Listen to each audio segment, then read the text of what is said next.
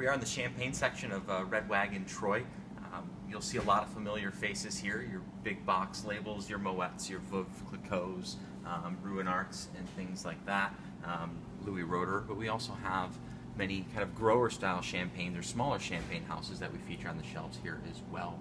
Um, nothing says uh, celebration like the popping of a champagne cork, but it's not always only for celebrations. Um, really, this is one genre of wine that a lot of wine professionals um, and wine stewards and sommeliers wish people would enjoy on a, a, grander scale, not just for the celebrations. They're so versatile, pairing with different styles of food that, that high acid, those bubbles are just so pleasing and versatile um, with many different types of cuisines or on their own.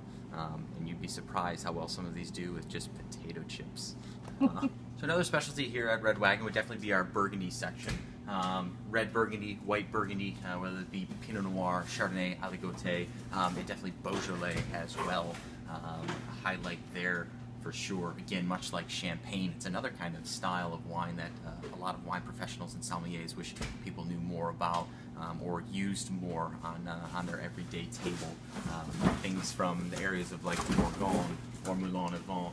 Um, again, these wines are relatively inexpensive, very versatile, pairing with different styles of food, easy to drink on their own. Definitely something that uh, is is fit for every day.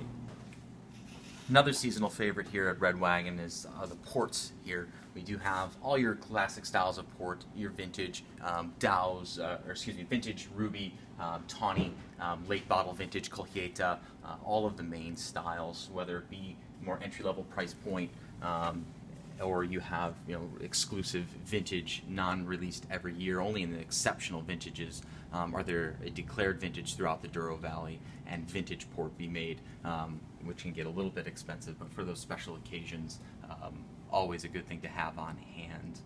Also have a great selection of Madeira and um, other kind of fortified wines or sweeter to style dessert wines um, especially in the Madeira section uh, was something that was really enjoyed very much so by our founding fathers here, um, and I always like carrying on that tradition myself.